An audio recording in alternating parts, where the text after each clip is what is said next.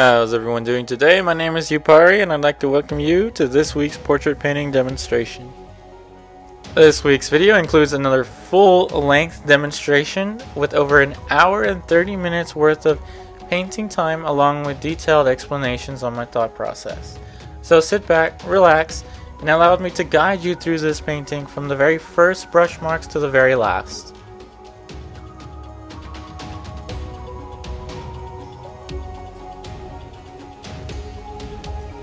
For our palette today, I'll be using 3 dots of titanium white, 2 dots of lead white, raw umber, burnt umber, alizarin crimson, cadmium red light, cadmium orange, yellow ochre, cadmium yellow, sap green, ultramarine blue, and ivory black.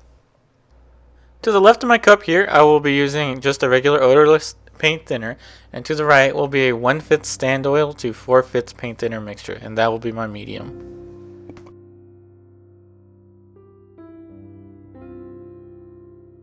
Alright, to get started I like to use a bristle brush. I dip it into a little bit of my medium, dab it dry, and then get into my raw umber, and the raw umber will be my drawing color. I don't want it to be too thin, and I don't want it to be straight up paint. I want a nice medium consistency from which I can draw. To start off with, I like to mark top and bottom just to get an idea of the placement of the head and the surface of which I'm painting on. I don't always stick with these two marks. Sometimes I'll I'll deviate and move the head up or down.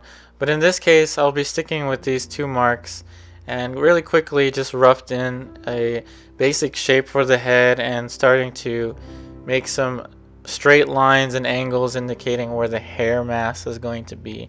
So I really want to get an idea for the entire picture from the very first brush mark so that I can get an idea of my overall design.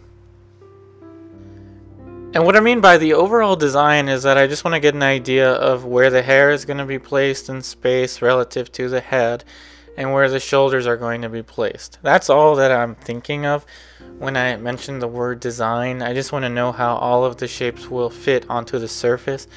I don't know exactly yet how my precise shapes are going to be. I'm not trying to draw a specific outline for the outside of the face or even a specific angle yet for the jaw or the neck. I just want to have some place markers from which I can get an idea of where the picture is going to fit onto the surface and then build more elaborate shapes on top of these. But this is my starting point.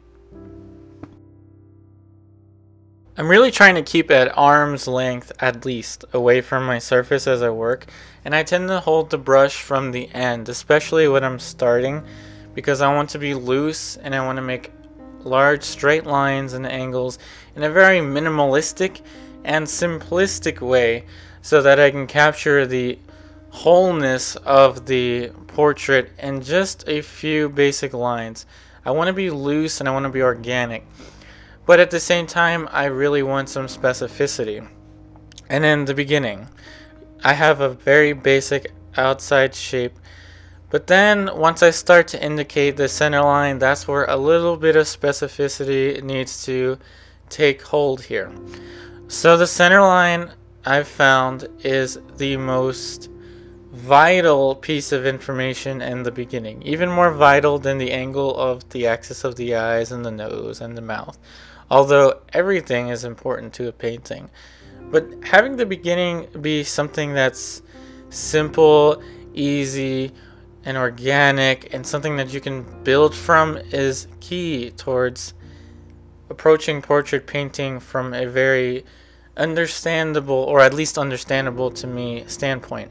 But I just find that the center line I really want to know is the head straight on is it three quarter or is it profile? Remember the center line is just that line in the middle of the face that you can see at this point here.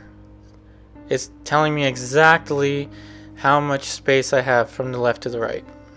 Alright, grabbing another bristle brush, a clean bristle brush that's a little bit more beat up, so this brush is a little bit more rough.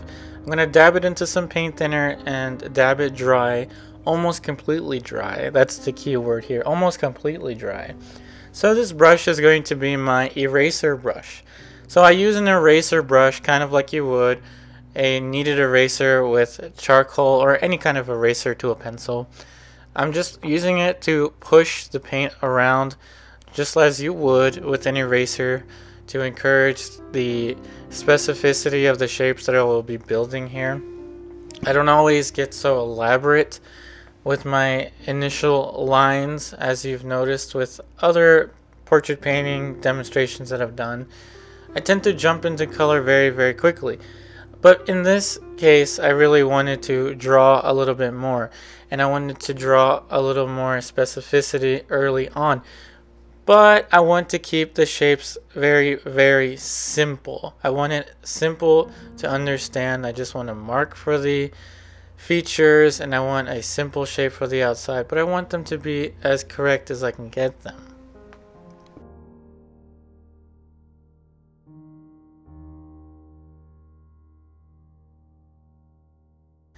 In the beginning, there can be a lot of tension, especially when you're making a portrait painting of someone you know. You really, or at least I really, really want to get their likeness fairly quickly, and I want, I don't want to insult the person that I'm painting or I'm drawing. But as it turns out, that's not a very good idea or methodology to have in mind. It's important to keep things simple and understandable for you. A brush mark may be a great indication of where a feature is going to go. Just a simple line as you've seen me indicate for the eyes, the two eyes and the nose. I'm really trying to play this game where how minimal can I make something, but how accurate can I make it? And it's not the end of the world if I get the eyes a little too far up or a little far down. As long as I stand back and keep a steady distance from my painting as I work, I will see these mistakes. But it's important, at least to me, to keep in mind that I'm not trying to get a perfect likeness or I'm not trying to make it look extremely pretty in the first brush marks. In fact, I don't even think about that at all. I try to play this game with myself where I'm thinking of shapes. I'm looking at just simple shapes.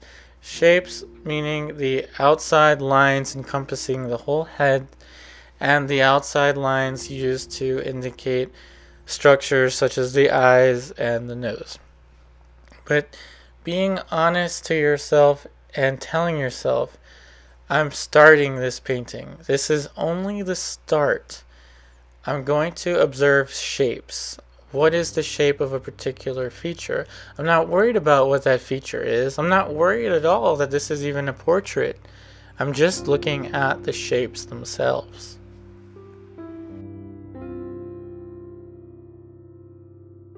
I find that, at least to me, there's another psychological factor involved in portrait painting itself. We're used to seeing pictures and images of people's faces. We're used to seeing our face in the mirror every single day. And this kind of idea of how a face should look is instilled in us very early on.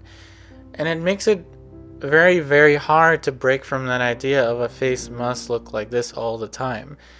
It's really about breaking it down into a series of shapes. A series of shapes in which you can accurately place more specific shapes on top of that really helps simplify this process down.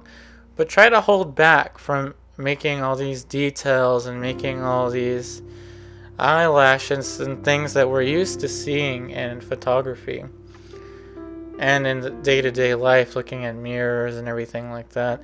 Let's abstract what it is that we're seeing into an understandable set of basic shapes that can build into more elaborate shapes thus resulting in that image that you see every single day in photography and in the mirror let's build up to that now i'm not saying let's create a photograph by any means.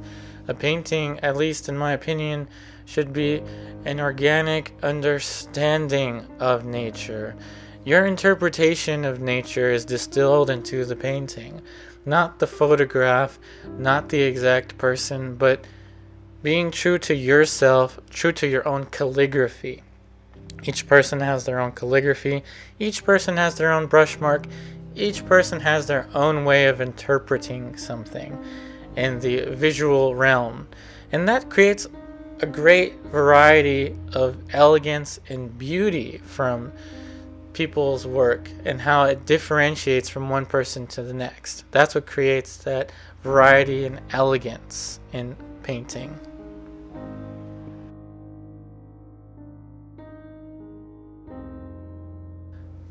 Now with this painting, I'm developing more of a linear drawing and block in block in meaning I'm blocking in the entire structure with a few basic lines. That's what I mean by block in. So I'm building up the block in and making it a lot more elaborate than my previous demonstrations. And I've made some videos where I did work in this way as well this shouldn't be too new but I'm doing this because I want to have a workable shape.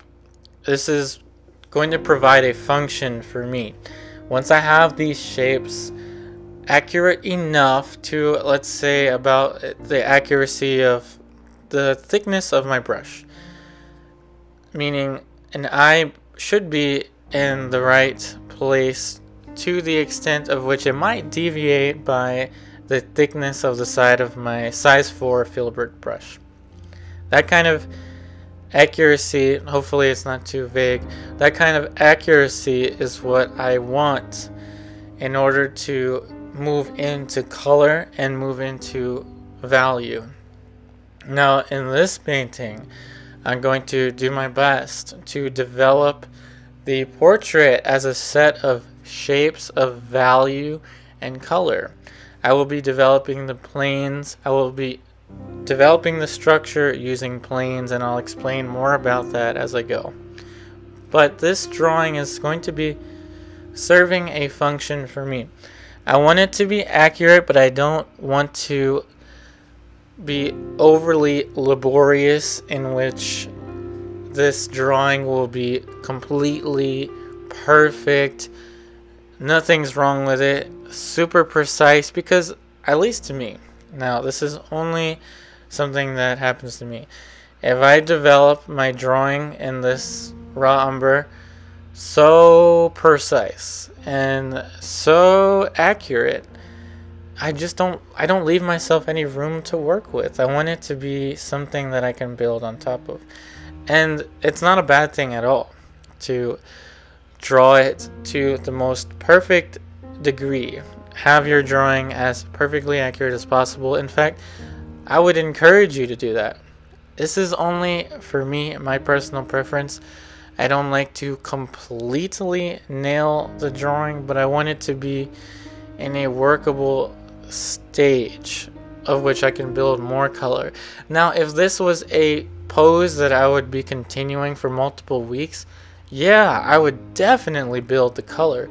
For certain I would sorry I would certainly build up the shape and the linear drawing. Now that is the difference between a one sitting painting and a painting that I will be working on for multiple sittings a painting that I will be working on for multiple sittings I will certainly spend all my time perfecting these lines that's the difference but not to fret. The result, at least for me, tends to be very similar. It's just that when I work on a painting for multiple sittings, there tends to be a higher level of refinement. But that refinement is shown even in my one sitting alla prima paintings in a more simplistic and minimalistic way. I try to distill the entirety of painting into basically shape, value, and color. That's my methodology that if I get the shape right, then I can place the value where it needs to be. And if I get the value right, then I have room of which I can adjust the color. So that's really the, the fundamentals in my opinion. The shape determines where I can place the value and the value determines where I can adjust the color. To further elaborate on this, I'm right now developing the shape. I'm spending a lot of time making minor adjustments now. I'm moving the eyes up a little bit. I may move the nose down and I may move the mouth up, but I have a very defined center line, at least in my head. I have a very defined idea of how the head is turned. Remember, I said the center line is that defining factor in the beginning, at least to me. I did move the eyes up a little bit on the axis. Very, very minimal change. I used my drawing brush to push them a little bit higher up on the eye socket. Let's get into the shape. The shape is something that can be encompassed in just a few lines. Therefore, the shape is a very easy concept in which you can abstract the entirety of the portrait. You can capture the whole portrait in just a few lines. That's the beauty and that's the elegance of the shape. Now, when we work into value, value simply is just how light or how dark is a particular area on the surface. Now, value to me is the fastest and most efficient way to express form. That is because, if you think about it, if that were not true, then black and white photography wouldn't exist and charcoal drawings and pencil drawings would not hold an image.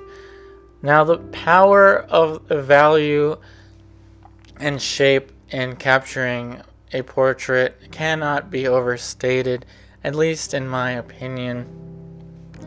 It's really, really the value that does all the work, and then in the end result, you notice the very harmonious color shifts and color relationships. The color is something that can be built on top of the idea and the concept of the value. And I'll further elaborate on what I mean by that later on. Just double checking my center line at the moment and I'm using that center line to place the middle of the, the mouth. So with the mouth I look for the middle and I look for the two furthest extremities left to right and then I look at the angle at which the mouth makes. The angle is somewhat similar to the axis of the eyes, if not tilted up just a little bit more to the right. And remember, I want the accuracy to be that of the thickness of the side of my size 4 filbert brush. I want it to be very accurate, but I want to leave myself some room to work from. And let's talk a little bit more about light and dark. So I'm creating very simple shapes of light and shadow. That's all that I want at this stage of the blocking. And in drawing, a drawing is a very, very useful tool to the painting. The drawing, comparing straight lines, comparing vertical lines as I'm doing, and horizontal lines from one feature to the other is a very, very useful tool. I have that the corner of the mouth lines up with the nose almost, but the corner of the mouth is still a little further left relative to that vertical line. Now, the drawing serves a very, very specific purpose to painting because if you can get your light and shadow shapes in check and in a workable degree of accuracy, you can build your more elaborate values on top of the simple shapes of light and shadow. If anything, all I have is an indication of the cheekbone, the little mark that I have to the left, and that's it. I don't really have any other values on the face other than light and shadow. And I've I've said this a lot before in my previous videos, but in this one I'm definitely trying to illustrate it even more precisely. That if you can capture the light and shadow, spend all your time with the light and shadow, nice things can start to happen from that. Just the simple shapes of light and shadow.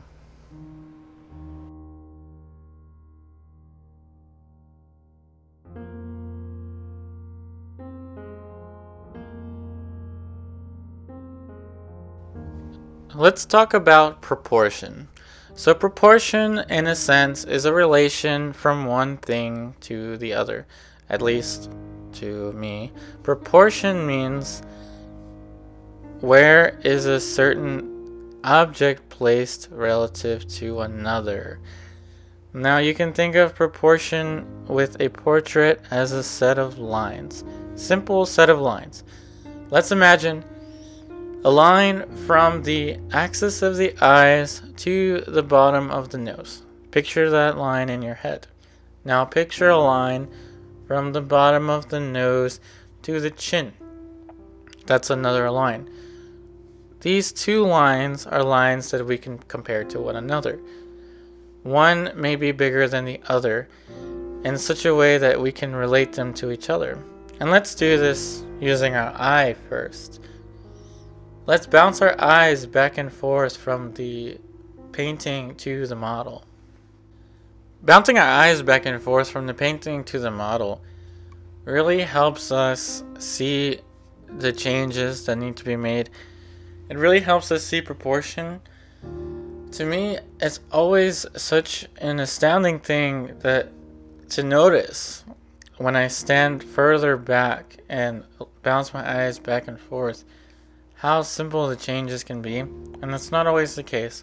Sometimes the changes can be more difficult. But at least in this simple shape idea, the change is often a brush mark to push an eye up or push a nose down relative to each other.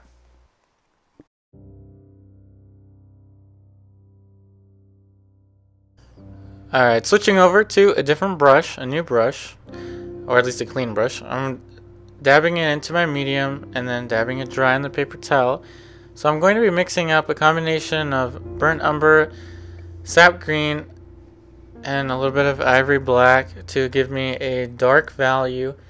I don't want it to be straight black, but a fairly dark value.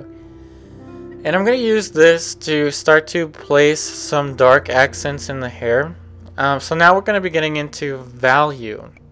Now the transition from shape to value can be a very, very simple transition because if you have the shape down as accurately placed as you can put it, then it can necessitate the values. Now you can see that I'm breaking down the hair into a set of dark shapes and these dark shapes are planes. A plane is a simplified three-dimensional concept of a flat surface in space.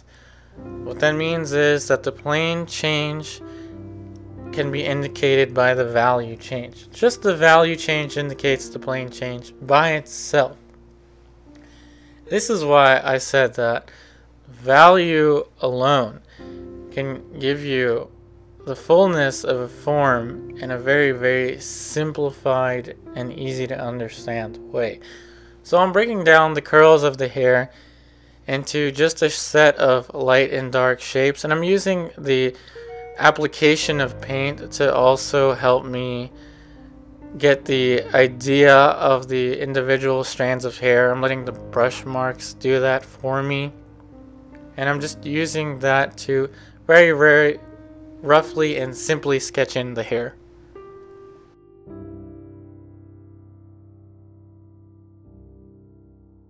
Alright, now we're going to get into some cadmium orange, yellow ochre, burnt umber, and some raw umber, alizarin crimson, ultramarine blue, and back to the yellow ochre. And we're going to be mixing up a value. Now remember, I'm thinking of value primarily, but I'm also creating a color that's on the warmer side. Now this color and value is going to be the cast shadow underneath of the model's jaw. Now the photo reference was taken under natural light. So there was a north light window providing the light source. And the theories of cool light, warm shadow, warm light, cool shadow really just mean that the shadow is a little bit warmer than the the flesh colors. And that's often the case even in warm light settings. It all depends on the environment. But for this value, I just wanted it to be dark, but not as dark as the dark accents of the hair, and a little bit warm. Now for this painting, uh, since I was able to take the photograph in natural light, there was a lot of nice and beautiful, elegant colors. So throughout the rest of this demonstration, you're going to be seeing a lot more of my palette. So my palette's really going to be a star here. You're going to see these mixtures develop one after the other in a way a little bit more elaborate than my previous videos. I'm definitely going to try to impose on you the color changes and the color relations relative to one another. But to get started, I still think about value primarily. Now, the transition from shape to value can happen in a simple way if you take the time to really stand back and squint at your model. Uh, but let me guide you through in a more structural understanding. So I placed a dark light on the side of the face, and that dark light is a value that's being emanated from the fact that the model's cheekbone is turning away from the light. That creates that dark light. And the same thing goes with the side of the forehead. And these values are demonstrated through the understanding of the structure. Now getting back into the the color here, I'm going to be working my way up the value scale. As you can tell, I'm going to be showing you more and more footage in this painting of the mixing because the colors are a lot more elaborate and a lot more varied in this photo reference just because I was able to photograph the model in natural light under a north light. So we're going up in the value scale. Remember I'm thinking primarily of value. We're going up in the value scale, that is we're going a little bit lighter and now I'm starting to indicate a different plane. The plane for the side of the nose is a little bit lighter than the side planes closest to the cast shadow. But they're still relatively dark relative to the other planes. So that's why I'm building my way up on the value scale. From a structural standpoint, we have the zygomatic bone, the cheekbone, across the side of the face uh, with its darker value. And then we have the side plane of the nose, as you've seen me indicate.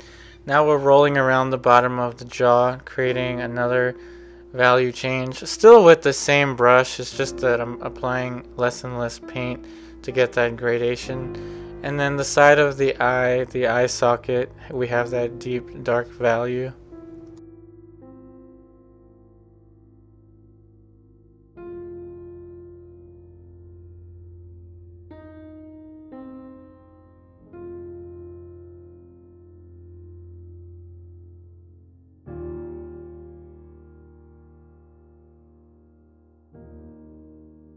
Working my way up on the value scale, I'm introducing more and more alizarin crimson, uh, lead white, and raw umber. That mixture I found with this painting is helping me get a nice warm middle ground of which I can build more colors on top of. I also put in a little bit of sap green into the mix to cool it down. So as I go and progress into the face, I'm working my way up the value scale but I'm also providing a warmer and darker ground. And that is so that I can build more elaborate colors on top of. Because as I develop the painting, I introduce more and more white into the mixtures, inevitably. That's why I have much more white on my palette because I tend to use more of it into the mixtures. And I'm painting relatively thin. I'm kind of scumbling on the paint now at this point. So I'm introducing a darker, warmer value. of which we will build more elaborate shapes and planes on top of.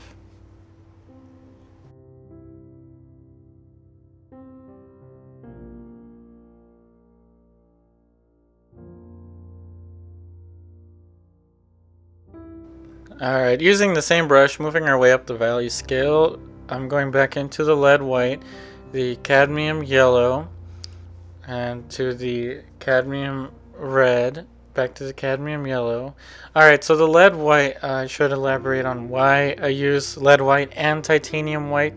Now before I was using a flake white replacement, and that was because I wanted a more transparent white and it, it was working pretty well. I just wanted to try out a different color. Remember, I don't always like to do the same thing at the same time every single time.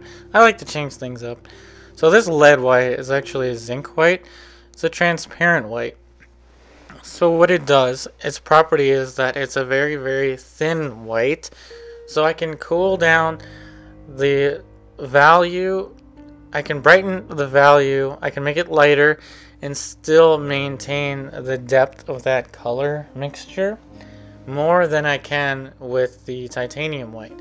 So the difference is the titanium white tends to work very very well at bringing the value up but it also blasts the color a tad bit. The lead white or the, the zinc white that I'm using the zinc white does contain lead so I'm calling it lead white the zinc white also is a very, very thin white, and for that reason, a lot of people don't like it. But I thought I'd experiment with it.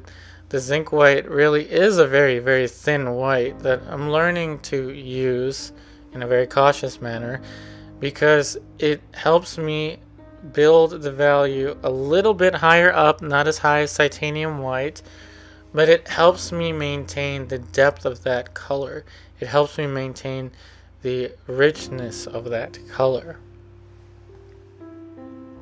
Let's talk a little bit as to why I have a tones background, a neutral gray background. Now I toned it with a neutral gray acrylic paint and this is because I want a value essentially that can make my darks look dark and my lights look light. That's pretty much why I have a neutral background. Um, but the gray also actually helps me with the color. It helps me go higher up in color and higher or lower in color. It helps me key the color either to a more saturated extent or or a less saturated extent. It helps me go warmer. It helps me go cooler because it's neutral. It's a neutral color. Back to the palette, we are getting into some sap green burnt umber, back to the sap green, cadmium yellow, yellow ochre. Uh, notice I'm using my dark brush, so I'm mixing a dark value. Now, I like to keep a light brush and a dark brush. Sometimes I use different brushes for different areas, such that I painted a man with a beard before and I kept a separate brush for the beard and a separate brush for the flesh colors and a separate brush for the background. That type of variation helps me out here.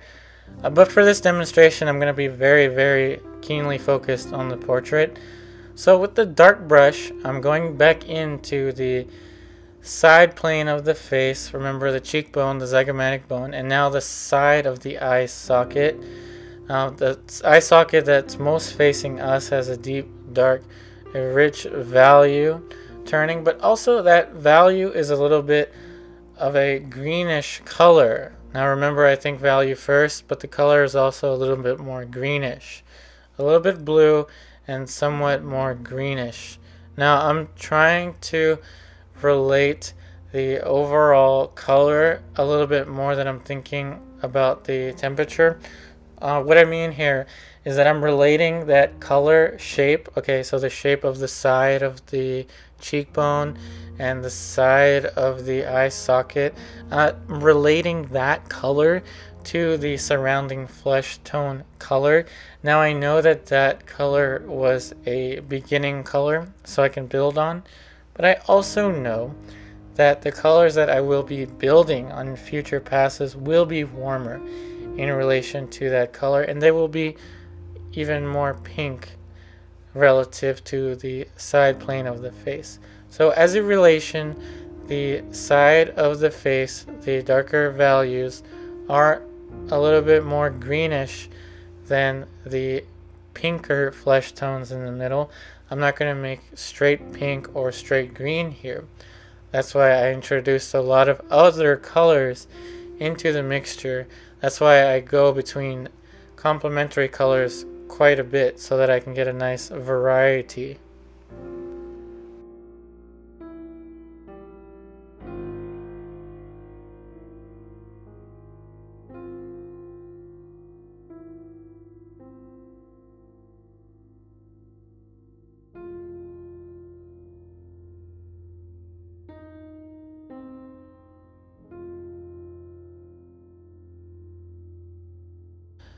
I'm also, with this demonstration, going to try to keep my planes well established. So I'm not really going to be softening too many edges until the very, very last clip of this video.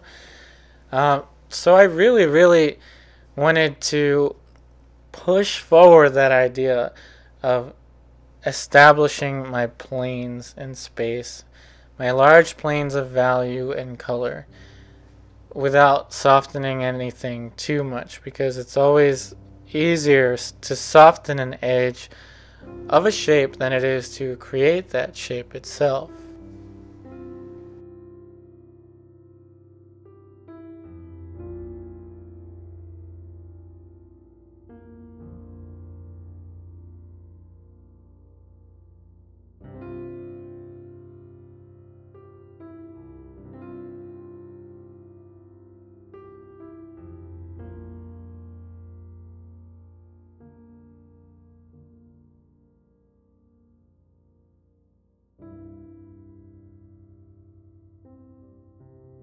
I also like to keep the value scale on my palette well ordered. Um, and sometimes to change the color just a tad bit to the warmer side, I'll add very rapidly a combination of all my warms and then my warms meaning my red, my orange, and my yellows.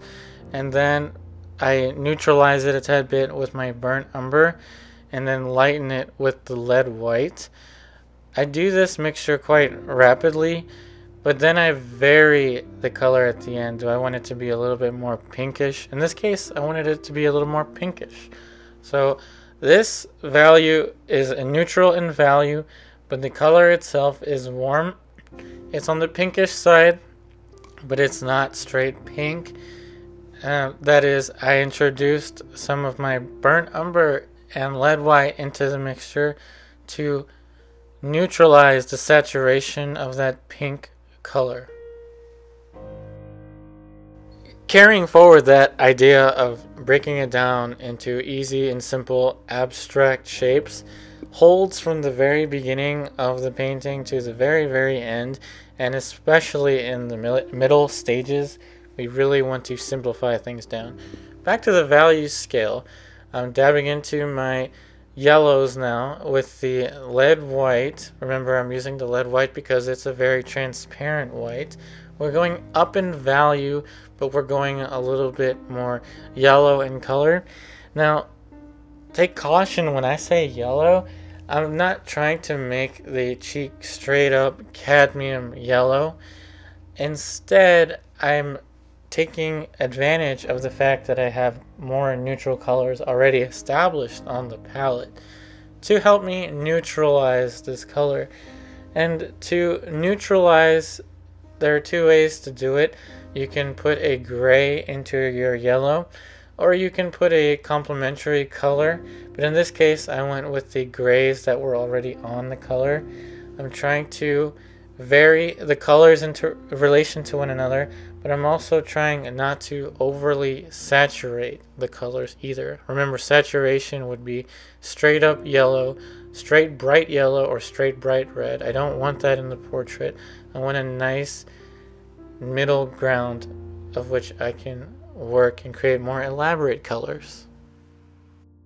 Now the challenge in Alla Prima is to get shape, value, and color working as accurately as possible.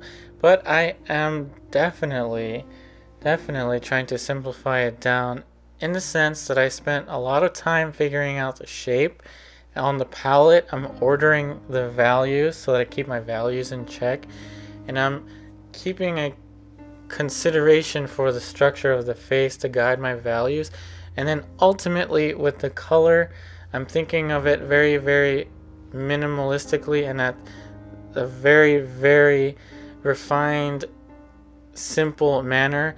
I'm gauging the colors in relation to each other as more yellow, more pink, or more green, and I'm trying to relate the overall shape of that value first before I change the color in any way. Because remember, you can always change the color a little bit, but it's much more difficult to figure out what that value is supposed to be.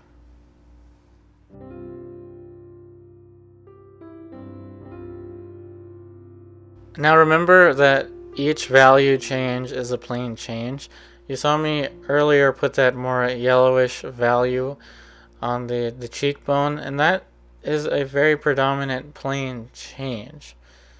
The forehead, that value I just placed, was a very predominant plane change, and now I'm applying it onto the nose with the same brush. So I'm definitely trying to simplify things down by unifying the colors a little bit. Um, just as you would with an ink drawing, depending on how hard you press on the brush, you will get a bolder line, a thicker line. And the application of paint on the painting is something that I'm also taking into consideration. I'm applying more paint in some areas by pressing down harder on the brush and I'm applying less paint in some areas by applying less pressure onto the brush. In that sense, I'm creating a simple, easy, and manageable way of applying the paint so that in areas of higher concentration of color, I can apply even more and more paint like the area of the forehead.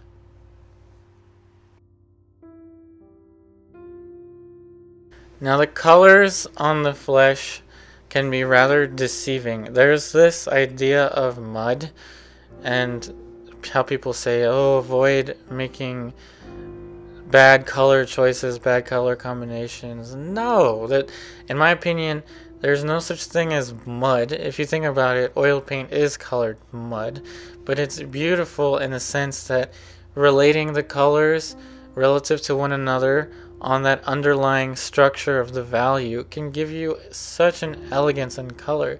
There's no such thing as an ugly color. It's just a color that wasn't related well to the surrounding colors. That's how I perceive the idea of making flesh tone mixtures. There's no such thing as an ugly color. There's only a color that's not well related to the other colors. But now how do we relate the colors to one another? As I said earlier, the side of the face is more greenish, the cheek is more pinkish, and then the top plane of the cheek as I'm painting now is a little bit more on the yellowish side. Now, I'm thinking of the color in relation to the other color because if I think of it solely on the purpose of temperature, you can have a warm color that's still on the greenish side. But green is a cool color, so you can see how that wouldn't really work.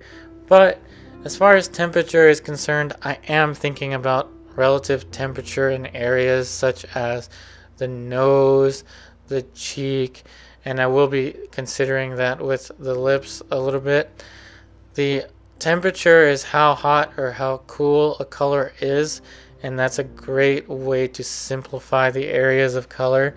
But with the individual shapes of color, I'm relating them based on the hue. Is it greenish, pinkish, yellowish, grayish? I'm thinking in those terms.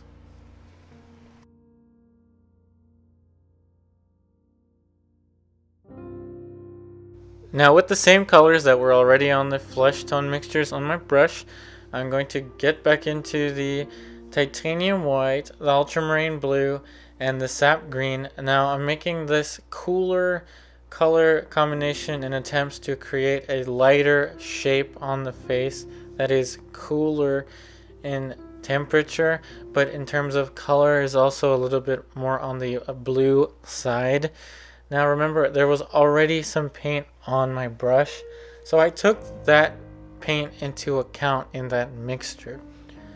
Now this value is light, but it's not straight white, and it's a plane that's more facing the light than the other planes, so that's why it is getting lighter.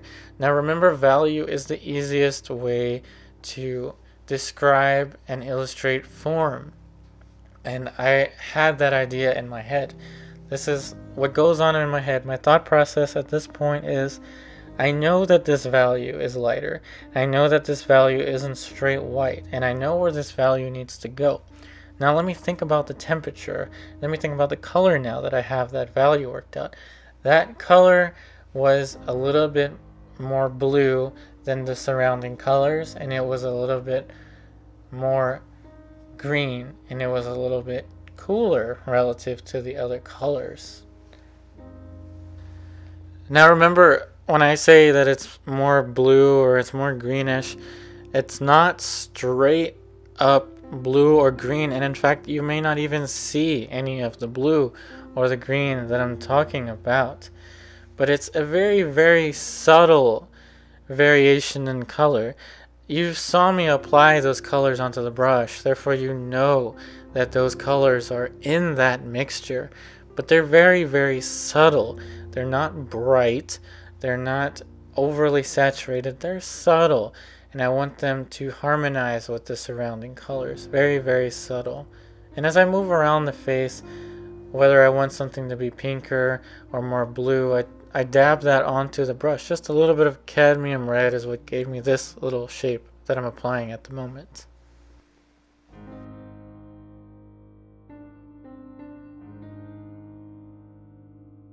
In the middle value of my scale here, I have my alizarin, yellow ochre, cadmium yellow, sap green, and ultramarine blue.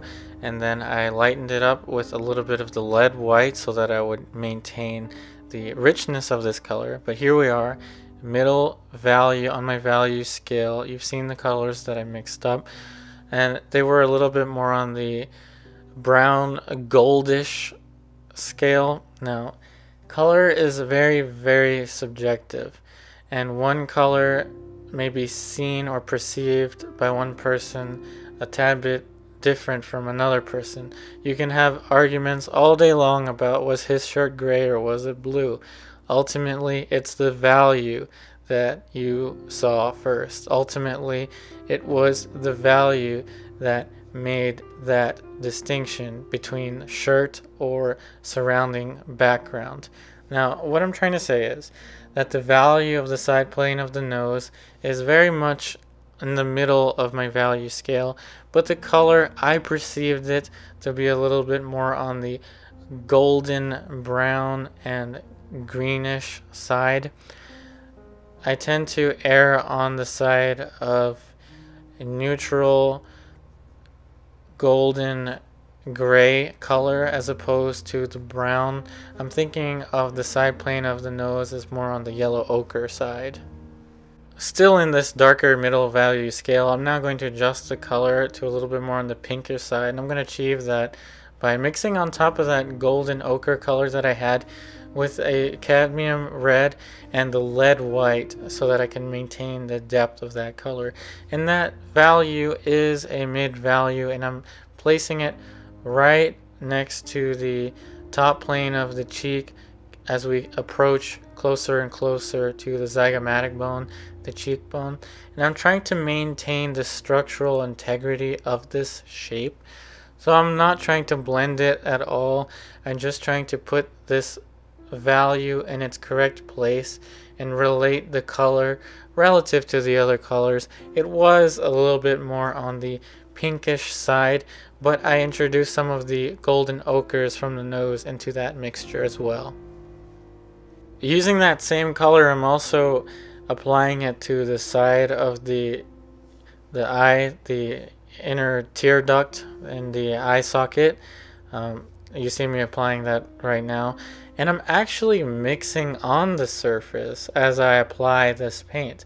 I know that the paint, the layer of paint underneath is still wet, so I can still mix colors right on top of other colors.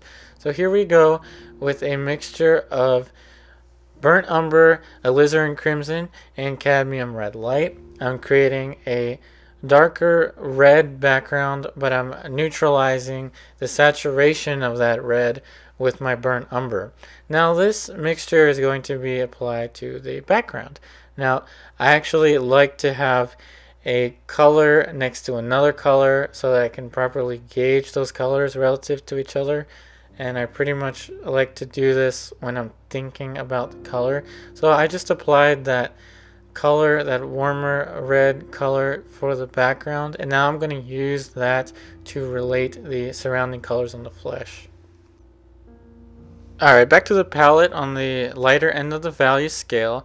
I'm introducing some more of the cadmium yellow, the lead white, and mixing it with some of my cadmium orange, just a little bit to get a warmer color. Dabbing it into my medium, then dabbing the medium a little bit dry so that I can get a nice consistency of paint. I don't want it to be too thin and I don't want it to be too thick either and back into the alizarin crimson. I've mixed up a lighter color that's still on the yellow side but not straight up yellow either.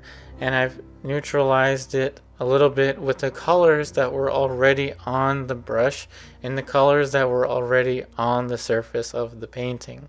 And I'm using these colors as I build up higher and higher in value. You notice that I'm introducing more and more white as I mentioned that I would. As I progress, I work lighter and lighter. That's why my initial ground was a little bit darker in value and a little bit warmer to facilitate these mixtures that are now being applied onto the surface as I develop the painting.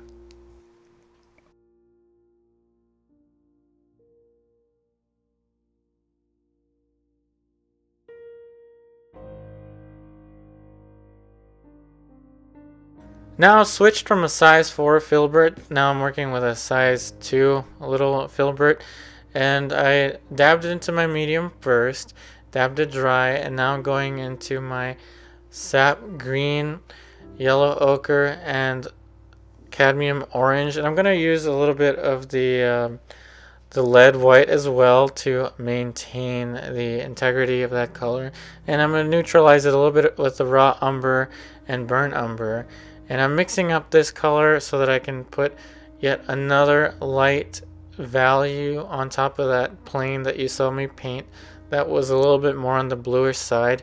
Now that big shape was more on the bluish side and this smaller shape is now still on that bluish side but neutralized even more so it's further on the gray side now.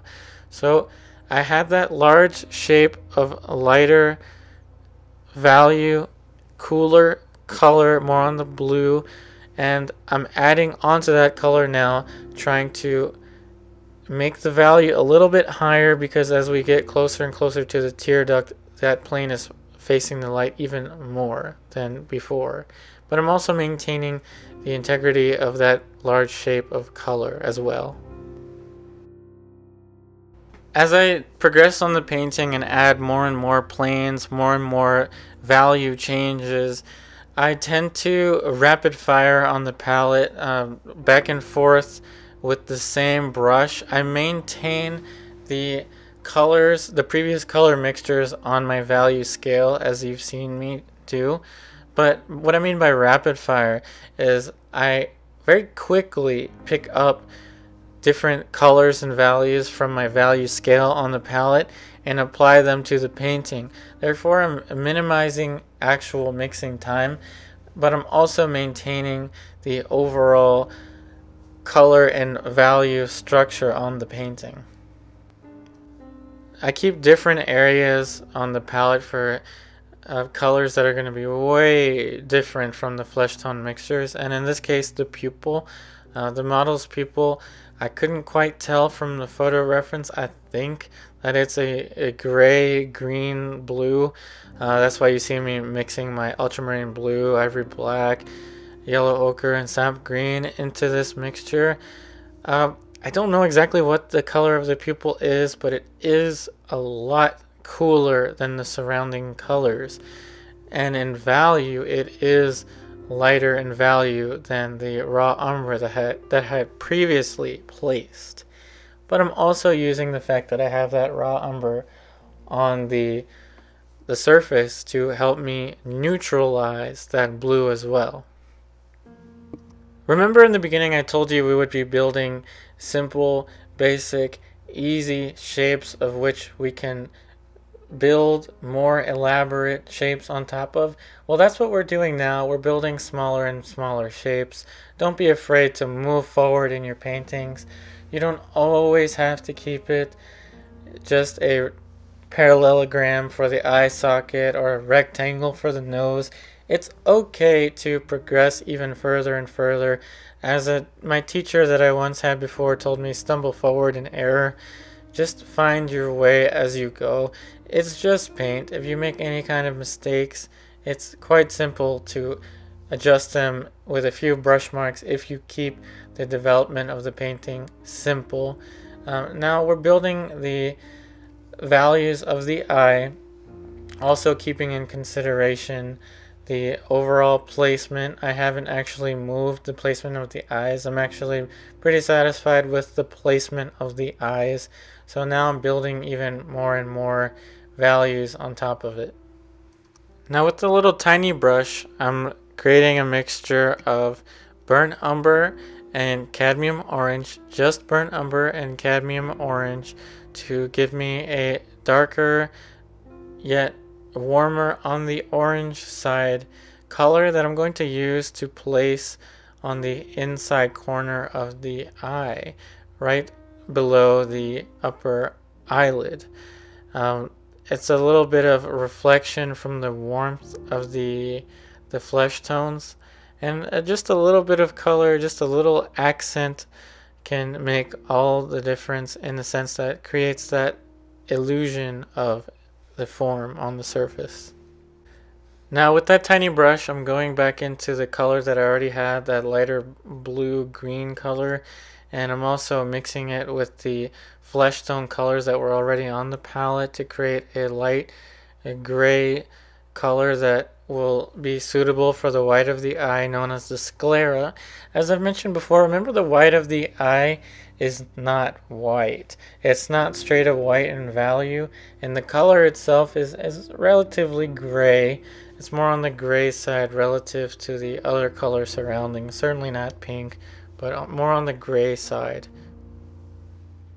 With that same brush, I just dipped it into the middle values that I already had, the warmer middle values, and I'm going to use it to paint that value in for the top plane of the lower eyelid.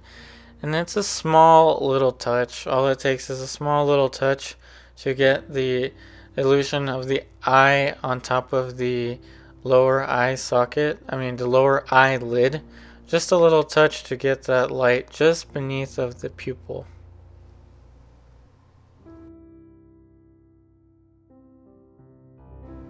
Back to the color of the sclera, I'm just trying to more finely shape this pupil in the eye, in the eye, in the eye socket. Now remember I said I'd be building more specific shapes on top of those basic shapes. So here we are now building yet even more specific shapes, but in the same manner of which we're building smaller shapes on top of larger shapes, we're building more elaborate shapes on top of more simple shapes. And it's just with a few brush marks to create that illusion of form, that illusion of the light turning across the side of the eye, the side of the iris and the pupil.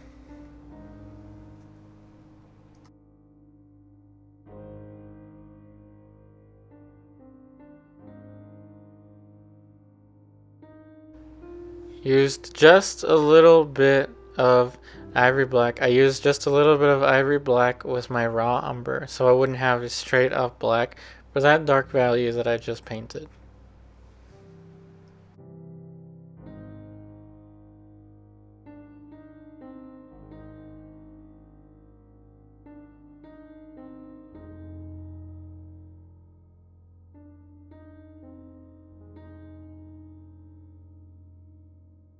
Now remember we don't want to use straight black on any of the dark areas of the eyes. Think about it. Straight black would be like the absolute darkest thing you can have. And that tends to jump out and that's not really something we want. We don't want anything to be immediately jumping out. Now for the highlights of the eyes, the highlight's definitely going to be the brightest area. And I'm gonna use the titanium white to bring that value up right away. And with a little bit of the ultramarine blue, just a tad bit of ultramarine blue, I have a nice natural light looking highlight that I can place on the iris.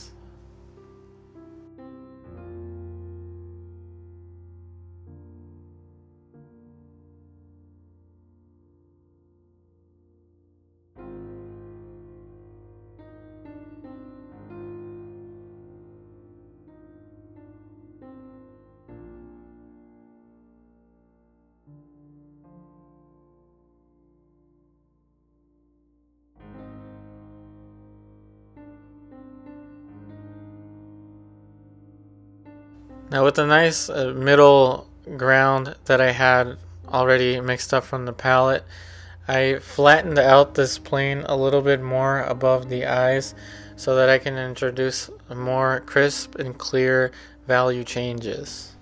Getting back into the palette with a little bit of burnt umber on the brush that I already had and some raw umber, I'm going to be mixing up right on top of the colors that I already had, adding a little bit more sap green into the mixture. And with this color, I'm going to create a definitive plane change. So remember the plane change is indicated by the value change.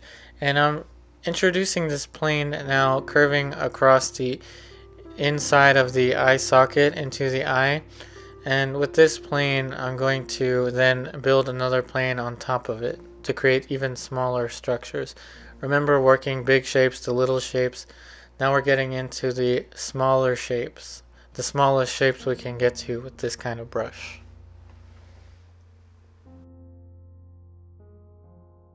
Now as we work into smaller shapes of color, I try to maintain the integrity of the large color shape that of which it rests on top of.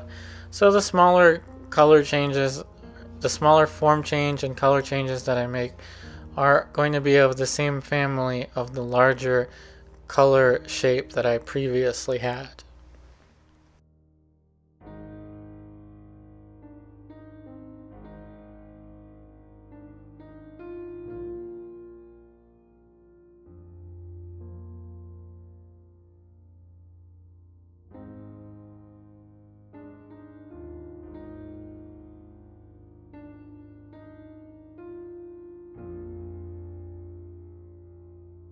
As you saw me mix earlier on the palette, I have a lighter, cooler color to fit in with the lighter plane underneath of the eye. Remember that lighter, cooler value that I had mixed up with the the lead white and the ultramarine blue and the sap green.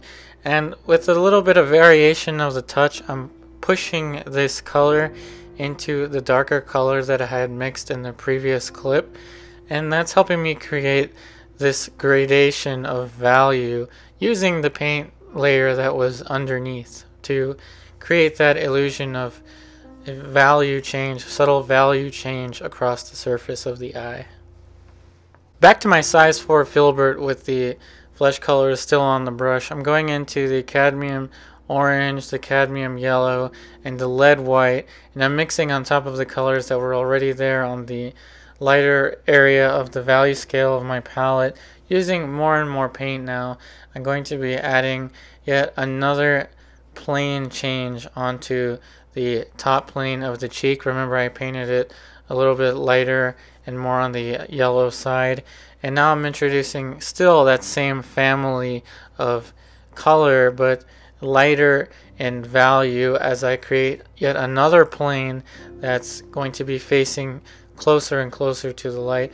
Remember I'm painting with large planes of color and that brush that I had before mixing the value on the top of the eye I used that same exact brush to adjust the value underneath of the bottom eyelid. So now I'm relating these larger shapes of color to one another, creating more and more color relationships relative to one another. Remember the relation is just that the top plane of the cheek was a little bit more yellow and of course lighter in value. So I created yet another plane on top of it that was in that same yellow family but with a tad bit more of the cadmium orange and with that brush that I had used to paint the lighter areas above the eye I adjusted the value of the the value to the left corner of the eye and then added actually a little bit more of the raw umber into the mix to make it less of a green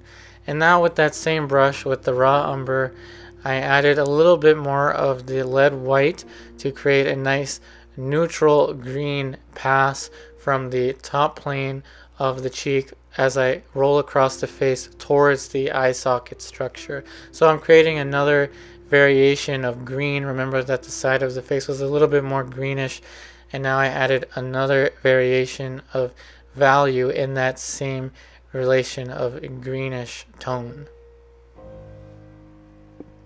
I'm using a soft, dry sable brush just to soften up some of the edges. I'm not trying to get too crazy uh, with softening up all of the edges. And I will soften up some of the edges also near the end. So as my as I work my way uh, with this painting, I'm going to start rapid firing with the palette meaning I'll go back and forth on the palette and adjust the colors quite rapidly because I had left many of the color mixtures on my palette with the value scale and I keep these colors on my palette so that I can go back and forth. The nose is being painted with the same mixture. Uh, the light of the nose is being painted with the same color mixture that was used for the highlight uh, right above the the eye, the lighter planes of the eye, that cooler, lighter mixture. And I'm rapid firing between these colors because I know that it helps me maintain that simplicity, uh, maintaining the mixtures that I had for the large shapes of colors and using them and adjusting them just a tad bit to create smaller and smaller planes as I go. Remember each plane change is pretty much a spatial relation based on where that one particular object is in space relative to the light source. Now the areas that I'm painting that are lighter are facing the light most. That means if you picture the light beam traveling onto the model's face, now I know light isn't going to be a straight beam, light is diffuse, but I'm simplifying it to an area of the face that's most facing that light source, it will be lighter and as I roll across from that light source, it gets darker and areas can roll away from the light, push back into the light, and then roll back away from the light, creating that variety of values. And as I adjust the colors, I'm trying to maintain the integrity of the big colors that I had, but I'm adjusting them with little little increments of cadmium red here and there some sap green here and there to cool it down, but I'm maintaining the overall integrity of these values and these colors as I progress along the painting.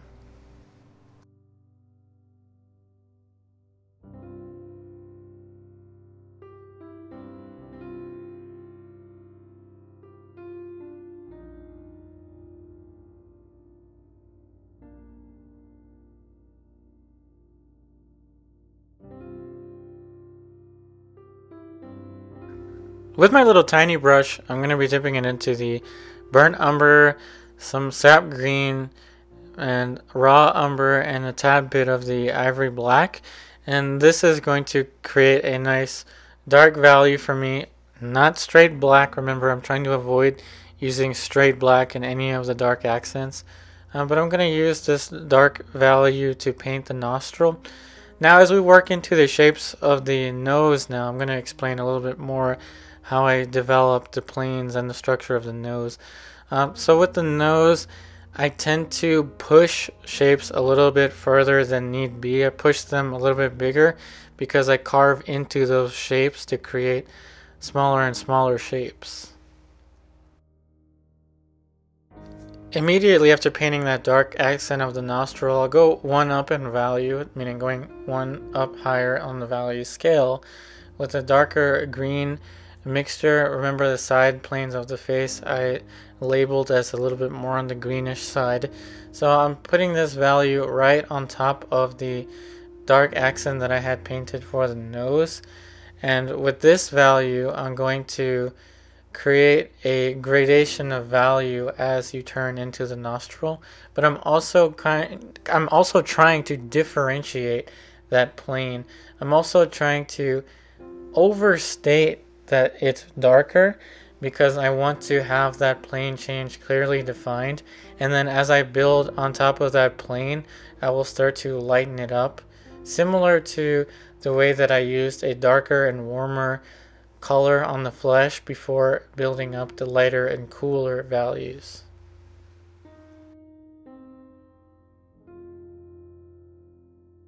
Now going up in value again, I'm going to use some of the the warms, so the cadmium orange, burnt umber, cadmium red, and I'm trying to build a color that is now a much warmer.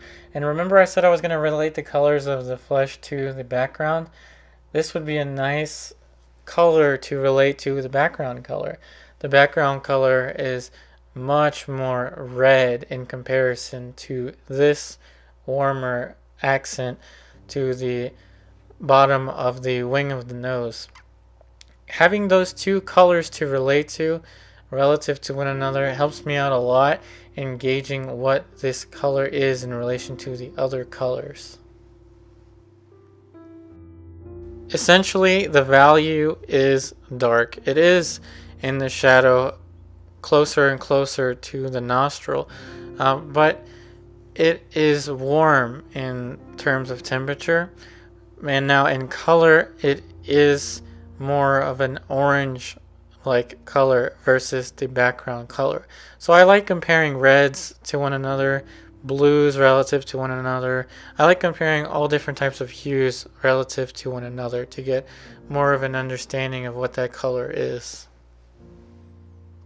Now we're going to go one up in value again and I'm going to be using the colors that were already on my palette and adjusting them just with a little bit of cadmium orange. And now I'm going to use this to build yet another plane as we roll across to the top of the nostril. So we're rolling across the side of the nose, so the wing of the nose. Now we're moving more towards the top regions of the nose. And I'm still breaking it down into simple and easy to understand plane changes. I'm making these plane changes now as crisp and clear as possible and as you noticed I cut right into that darker value that I had. I used that darker value above the nostril because I knew that I would come right back into it with another color such as the one that I just used. And this is how I, I move around. Sometimes I may push something too light or too dark and then I adjust the values as I go from there. And with the same brush, applying just a little bit more of the flesh mixture right from my palette. Remember rapid fire, I just went right back to the color that was already on my palette. Now I'm building up yet another top plane to the nose. I'm subdividing even more planes on top of the nose as I go. Rapid firing between the colors on my palette really really helps me create smaller shapes in a much faster way because I don't have to completely mix everything as I go. Nothing has to be a novel discovery from this point on. It's really about just creating smaller and smaller value changes that still hold in that large value and color family. Remember I had the nose a little bit warmer and I used more of my oranges. So the whole plane, the whole shape of the nose in a sense is a little bit more on the orange side relative to say the pink of the cheek and the yellow of the top plane of the cheek so I am keeping a relation with the large color families and as I break them down I rapid fire with the palette by building more and more value changes that are within that value family. So now with the palette again I'm building up a different color, one that you have not seen me use before on the flesh, a little bit of ultramarine blue, and alizarin crimson gives me a nice muted violet color with the addition of a little bit of the flesh color. I can neutralize this color. So this color is going to create a sort of cool sparkle if you will above the upper lid of the mouth. So above the upper lip, I'm going to be placing this color now. And I'm going to make the color notation and then I'm going to relate it to the other color that's similar to this color, which is the light color of the eye, the top plane of the eye. Remember it was a little bit more bluish. Now this color is going to be a little bit more on the violet scale. A little bit of alizarin crimson onto that color and now I have the top plane of the bottom lip which is a little bit more of a velvety alizarin crimson mixture but still neutralizing that mixture with the colors that were already on the surface of the painting.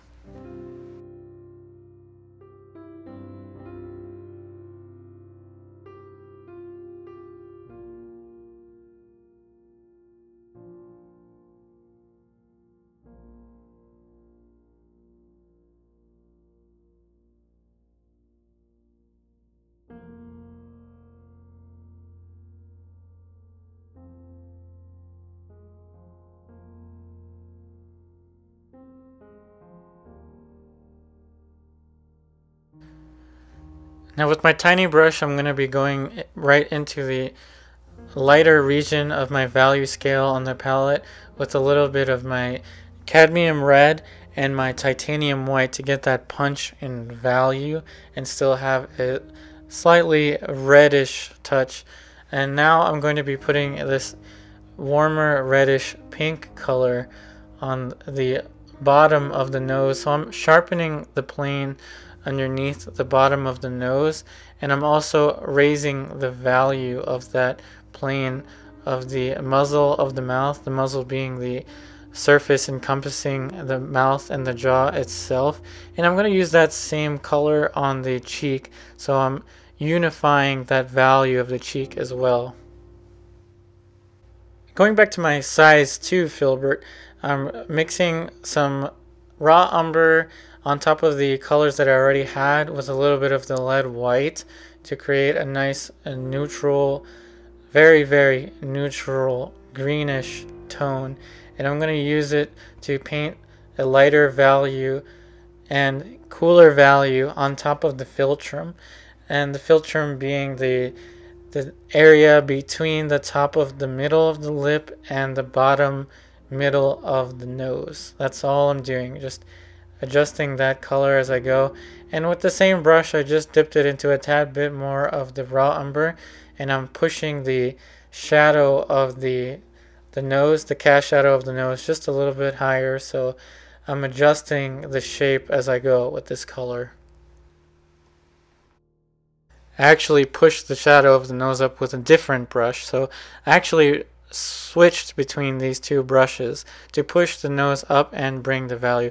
So now with that size 2 filbert brush, I'm going back in with some of my ultramarine blue, alizarin crimson now to get a little bit of a violet type touch and going back into the more pinkish lighter mixtures that I had for the flesh. So creating a very, very novel gray color and I'm using it now to bring even more light to the philtrum area. I'm relating that color uh, with the surrounding cooler colors. It is a little bit more on the cooler velvety scale, but it's not quite as blue as that violet underneath of the the eye, the light near the eye and it's not as warm as the highlight above the lip. So I'm relating those colors relative to one another, but I'm also keeping track of where I am on the value scale. Each one of these mixtures that I create of color is still has a strong value foundation. Using the value scale on my palette really helps me see how these colors are going to work relative to each other in terms of lightness and darkness before I apply the paint onto the surface.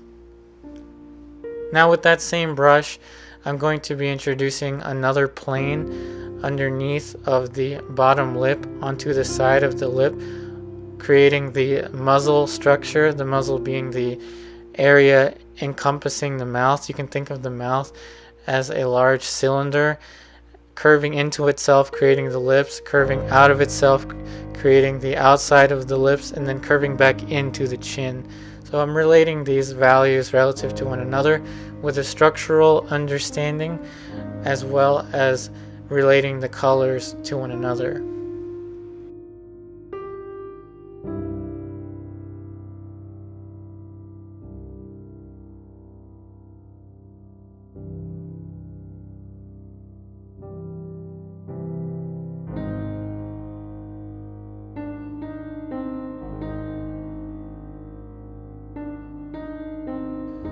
Going back into the middle value region of my value scale, I'm just mixing some cadmium red with some of the cadmium yellow on top of the colors that I already had. Now given the fact that I painted a little bit darker and a little bit warmer to begin with with the flesh colors, I'm now going to go back in with this color on my brush that is going to be a little bit lighter and I'm going to unify the region of the chin directly below the orbicularis oris, the muzzle of the mouth, and I'm going to be rolling across to the side of the jawbone. So that structure of the jawbone is going to be receiving more and more light than the surrounding regions below the cheekbone. So that structure is shouldn't be too difficult to paint just applying a little bit more paint with a value that's just a little bit lighter in a color that's just a little bit warmer relative to the surrounding colors and I'm building up that shape. Using my dark brush onto the yellow ochre, a little bit of the ultramarine blue, and the alizarin crimson, I'm mixing up a value that's just a little bit darker than the middle of my value scale. That is just a little bit darker than the value that I had just painted. And now I'm going to go further up the mandible, further up the jawbone as we approach the bottom of the zygomatic bone, the bottom of the cheekbone and I'm painting a value that is lighter than the previous value but is still darker than the area connecting the bottom of the jawbone and the orbicularis oris. So it is a little bit lighter than the region that was painted there before, but it's a little bit darker than the area directly beneath of the mouth, the area of the chin. Just a little bit darker than that. Back to the palette now. We're going to be using some of the raw umber, burnt umber, sap green, ultramarine blue, a little bit of the blue that we previously mixed, the blue gray that we used for the eyes earlier, including that into the mixture, and a little bit more of the ultramarine blue and alizarin crimson velvety violet mixture. Um, so I'm trying to create a nice cool yet warm in temperature mixture. So a little bit of a gray and some of my oranges to create a nice neutral dark color. And I'm going to go back into the cast shadow now. So the cast shadow directly underneath of the jaw. And I'm going to further draw out the the line between the light and the shadow. And I'm going to further articulate the structure of the model's jawbone and I'm going to be pushing this shape a little bit higher up. I did have the chin a tad bit too far down and remember as I usually say it's oftentimes the smallest brush marks that we can make that can make all the difference in a portrait painting. In the beginning we want to be simple, abstract, and work in a way such that we can build from. And as we progress in the middle stages, we rely heavily on the simplicity that we had in order to create more and more articulate shapes in a simplified and understandable manner. So now going back into the cadmium orange and a little bit of the background mixture that I had and some of the yellow ochre on top of the flesh colors that I already had, I'm going to go one up in value just a tad bit. That is, I'm going up in value just a tad bit, adding a nice and orangey variation. And that variation is going to give me a little bit of the reflected light directly underneath of the jawbone. Remember, reflected light should never ever be confused with any of the values in the light. Therefore, reflected light, in my opinion, it's a nice area to let a color change do the work for you instead of a value change. Now I did make the value a tad bit lighter I admit as I was mixing on the palette but in the back of my mind I knew that I wanted to maintain the integrity of the value families. That is none of the values in the light should ever be as dark as any of the values in the shadow. Because once we break that distinction between light and shadow things can start to get a little bit lost and a little bit murky. But don't fret it's just paint. Simple changes can make all the difference. Just a simple brush mark here and there can really make a whole lot of difference with the portrait. Now, as I work my way up the mandible, I'm going to actually be using that same brush to mix right on the painting a dark light, the darkest light that you can get as you approach the shadow.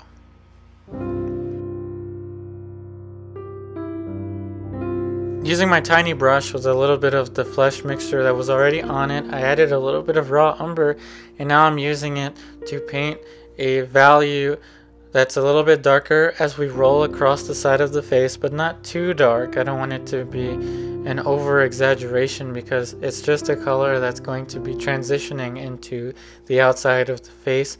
So I pushed that value, I pushed that color a little bit further and now I'm going to cut back into it with the background brush. I left that brush with the background color alone. I didn't use it for anything else. I just left it there so that I, as I progressed further into the painting, I knew that I would use that background color brush to further articulate the side of the face the outside structure and the outside shape of the side of the face. Now as we progress further into the painting, I'm going to be painting the dark value for the hair, even more dark accents for the hair, using just burnt umber, ultramarine blue, and a tad bit of ivory black onto my dark brush.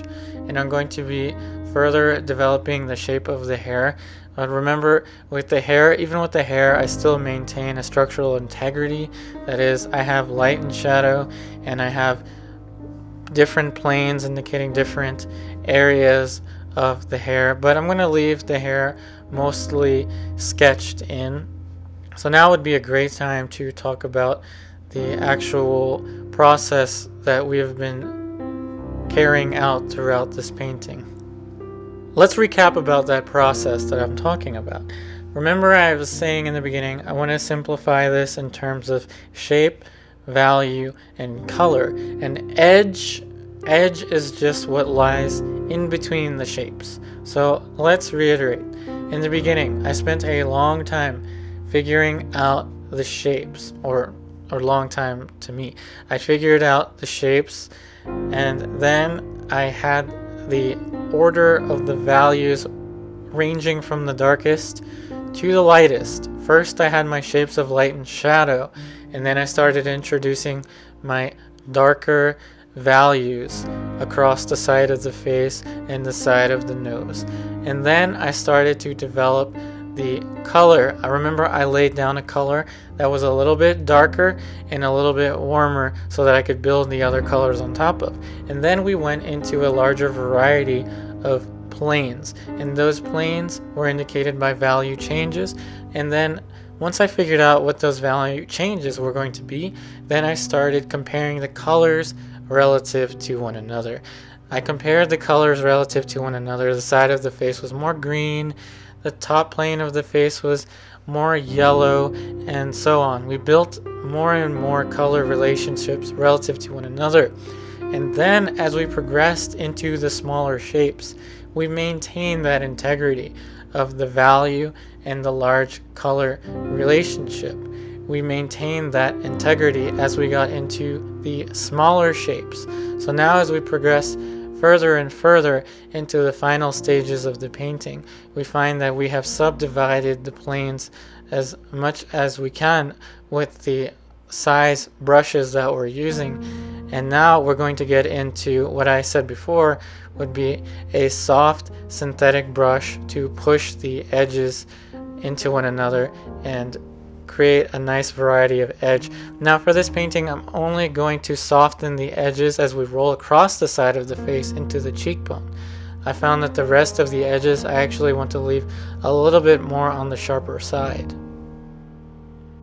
Just a soft whisper of the soft synthetic brush will do, enough to push the edges into a more softer gradation as you roll across the side of the face. But these will be the final brush strokes that I will be applying to the painting. I'd like to thank you so much for watching this week's portrait painting demonstration. I know it was a long one, over an hour and 30 minutes worth of content, but I hope that you enjoyed this video, and thank you so much for watching my portrait painting demonstration. Stay tuned for next week's video. Thank you.